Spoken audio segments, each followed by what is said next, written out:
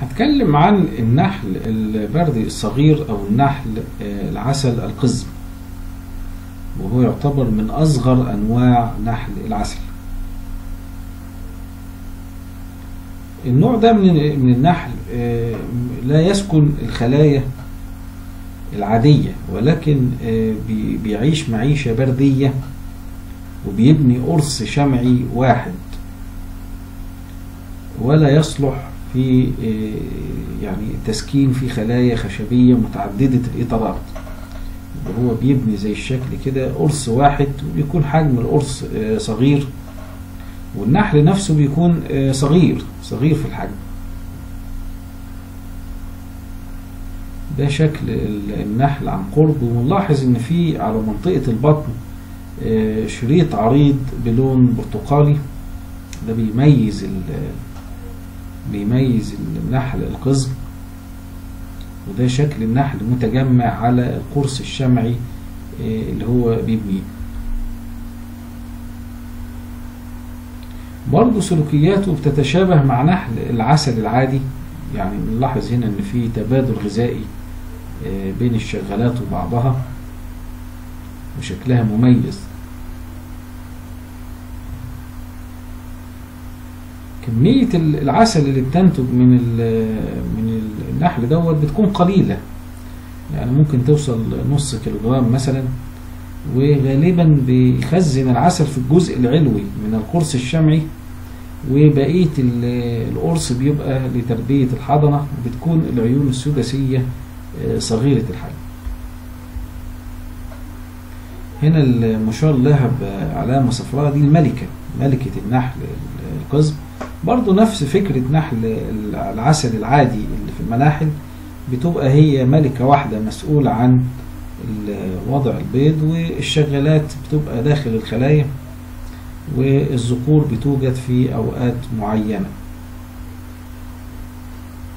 لاحظ برضو إن الملكة يعني تبقى أكبر حجما وبرضو بتتلقح في الهواء من عدد كبير من الذكور يعني نفس البيولوجي العادي للنحل. آه، نلاحظ هنا شكل اعشاش النحل البردي على الفروع. نلاحظ إن هو بيبقى معرض للهواء يعني بيعمل قرص شمع صغير وفي كل فرع تلاقيه عامل مستعمرة كده. برضه شكل موضح للنحل القزم. ونلاحظ إن هو بيميل للهجرة. يعني بعد فترة من تأسيس العش وخروج دورات من الحضنة بيهجر المكان وبيأسس عش جديد في مكان آخر. ودي تعتبر مشكلة في في النحل القزم اللي هو موضوع الهجرة. لأنه ممكن يغزي ال- البيوت. يعني يعمل غزو للبيوت وممكن يدخل ال- البلكونات ويدخل المستشفيات والمدارس. ما عندهوش آه، يعني مشكلة في الحكاية دي. في أي مكان ممكن يأسس ال- العش وبرضه التكاثر بتاعه سريع. برضو زي نحل العسل العادي بينجذب للمواد ال- السكرية وبيروح لرحيق الأزهار وحبوب اللقاح. ويعني زي النحل بالظبط وبيجمع برضو المية للاستفادة منها في تخفيف العسل المخزن. يعني بنفس آه، سلوكيات نحل العسل العادي.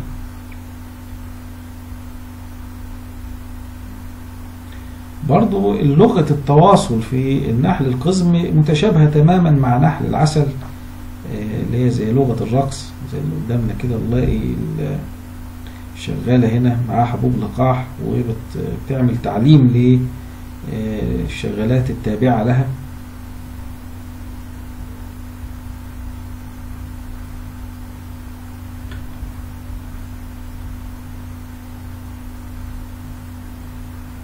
ده برضو آه، نحل القزم لاحظ برضو إن آه، يعني في هنا في منه برضو سلالات لاقي ان هنا الحلقة البرتقالي بيبقى لونها غامق.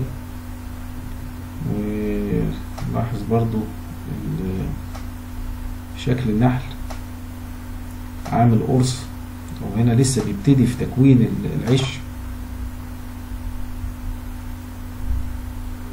حركة النحل. طبعا هو يعني النحل دوت لا يميل للشراسة. يعني النحل غير شرس. وآلة اللسع فيه بتبقى صغيرة جدا. يعني حتى لو لسع حد بتبقى آلة لسع يعني لسعة خفيفة جدا. ويمكن مشكلته في إنه أحيانا بيعمل هجوم جماعي. يعني ممكن مجموعة كبيرة من النحل تهجم على شخص ولكنها غير مؤذية بشكل كبير. وهو حاليا ابتدى يغزو العديد من المناطق العربية موجود في شبه الجزيرة العربية وموجود في الأردن ودخل مصر. ابتدى ينتشر في أماكن متعددة في مصر ومع الأيام هيبتدي ينتشر بشكل أكبر. ويعني هو مشكلة برضه لأن هو غير منتج جيد للعسل مفيش يعني فايدة كبيرة في إنتاجية العسل. ممكن يستفاد منه في, في تلقيح بعض يعني النباتات في المناطق اللي هي الصحراوية بالذات لأن هو بيتحمل الظروف القاسية. فدي برضه تعد ميزة ليه لكن برضه نلاقي إن في مشكلة تانية إن هو بيشارك نحل العسل العادي في بعض الأمراض. يعني ممكن ينقل هو للنحل بعض الأمراض أو ياخد بعض الأمراض بالنحل وينشرها مع سلوك الهجرة الخاص به كمان المشكلة يمكن من انتشار النحل دوت في المناطق السكنية ممكن يسبب مشاكل كثيرة للسكان. ولكن هو ليس ضار بشكل عام وما بيمثلش يعني يعني لسعة النحل بتاعته لسعة قليلة وضعيفة. ويعتقد ان هو هينتشر بعد كده في مناطق أخرى في أفريقيا يعني ممكن يصل إلى ليبيا ومن ليبيا إلى بعض الدول يدخل على تونس والجزائر والمغرب وينتشر في الشمال الأفريقي ويتجه بعد كده إلى مناطق أخرى في يعني المناطق أخرى في أفريقيا جنوبا وممكن بشكل أو بآخر يصل إلى أوروبا.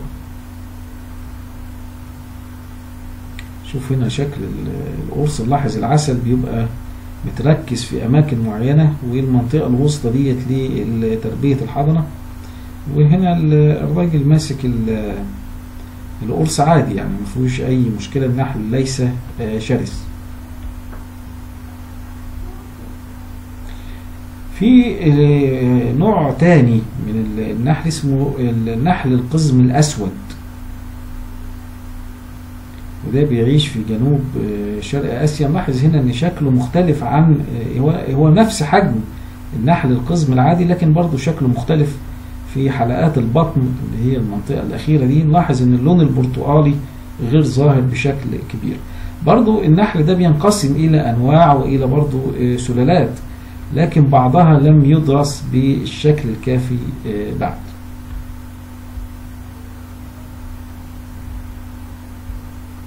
وشكرا جزيلا لحسن الاستماع.